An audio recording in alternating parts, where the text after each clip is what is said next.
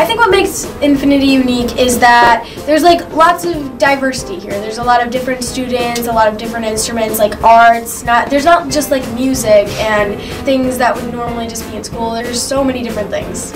Because like it introduces kids to new things like instruments and acting and stuff like that.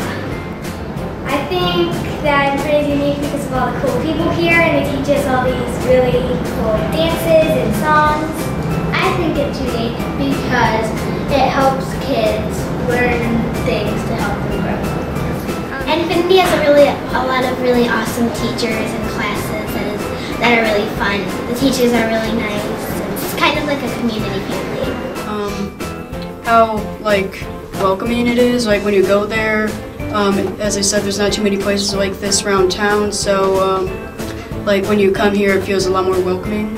Um, that you're able to express yourself and you don't need to worry about being too shy or anything. They just accept who you are.